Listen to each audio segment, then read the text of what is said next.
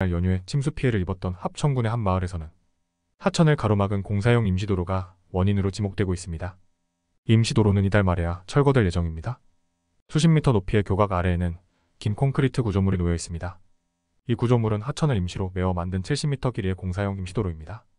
지난 5일 인근 마을과 농경지 침수의 원인으로 지목된 것입니다. 임시도로는 허가받은 것보다 높게 만들어졌으며 이는 하천법 위반에 해당합니다. 합천군이 허가한 임시도로의 높이는 하천 바닥으로부터 1.5m였지만 실제 높이는 허가보다 3배 이상 높았습니다. 하천법에 따르면 허가받은 사항을 변경할 때는 다시 허가를 받아야 하지만 이 과정이 없었습니다.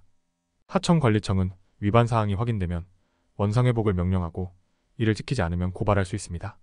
시공사인 두산에너빌리티 측은 허가대로 임시도로를 설치할 경우 구조물의 수평을 맞추기 어려웠고 바쁜 공사 일정으로 인해 변경 신고를 누락했다고 인정했습니다. 을 잡아야 되니까 그래서 어쩔 수 없이 도면을 넣을 때 그게 이제 1단계, 2단계를 넣었어야 되는데 이게 조금 위험하다. 주민들은 큰 비가 다시 내리면 마을이 또 침수될까 걱정하고 있지만 임시도로 철거는 이달 말에야 이뤄질 예정입니다. 도로공사는 17일에 임시도로의 구조물을 교각 위로 옮기고 이달 말까지 임시도로를 완전히 철거할 계획입니다. 합천군은 임시도로의 원상 회복이 끝나는 대로 하천을 불법 점용한 도로공사를 고발할 방침입니다. 이에 네티즌들은 그래서 피해 입는 사람들에게는 보상을 해주는 건 맞냐? 원래 국토부가 하는 일이 그렇잖아. 나가서 현장 확인도 안 하고 허가한 공무원도 잘못 있다. 라는 반응을 보였습니다. 자, 지금부터 잠시만 주목해 주시길 바랍니다. 제가 유튜브 구독자분들을 위해서 특별히 준비했습니다. 제가 항상 여러분들에게 드리는 말씀이 있습니다.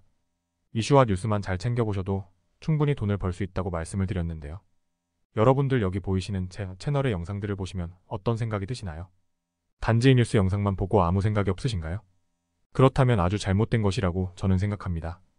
그 이유가 무엇이냐면 제가 지난 1월, 2월에 뭐라고 말씀드렸나요? 지금은 초전도체에 관심을 가져야 한다. 뉴스만 보고 그냥 넘기지 마시고 투자 쪽으로 생각을 해봐야 된다고 말씀드렸습니다. 그리고서 이런 썸네일들을 영상을 통해서 많이 보셨을 텐데요. 이런 초전도체 이슈가 되었을 때 부자들은 어떻게 생각할까요? 초전도체는 뭐가 있는지 어떤 종목이 가장 좋을지 어디에 투자해야 돈이 몰릴 수 있는지 자연스럽게 생각한다고 말씀드렸습니다. 그 이유가 무엇이냐면 부자들이 봤을 때 이슈가 곧 돈으로 이어지고 그 이슈가 나에게 돈을 벌어준다는 경험적 확신이 있기 때문에 부자들은 항상 사회적 이슈를 관심있게 챙겨본다고 말씀드렸습니다. 이번에도 마찬가지입니다. 지난번에 유튜브 구독자분들과 함께하는 주식으로 수익 내기를 진행했었는데요.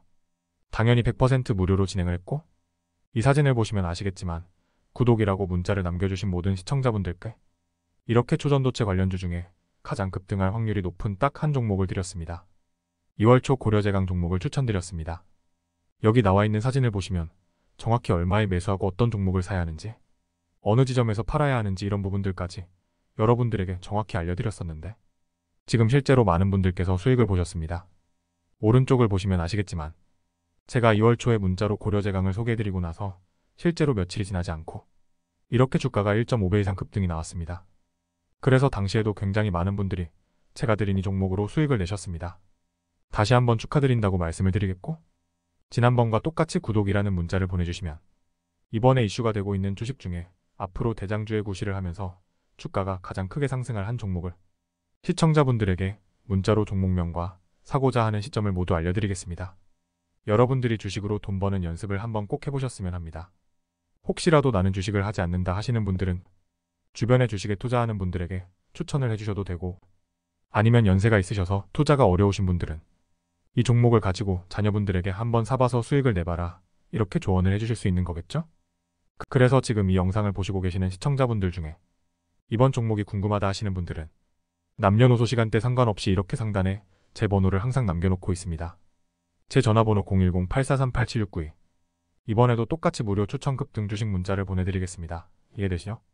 제가 돈을 받는 것도 아니고 투자를 대신 해드리는 것도 아니고 부담 없이 신청해 주시면 되십니다. 저는 다른 것을 원하는 게 아닙니다. 수익이 나신다면 구독과 좋아요 한 번씩만 부탁드립니다.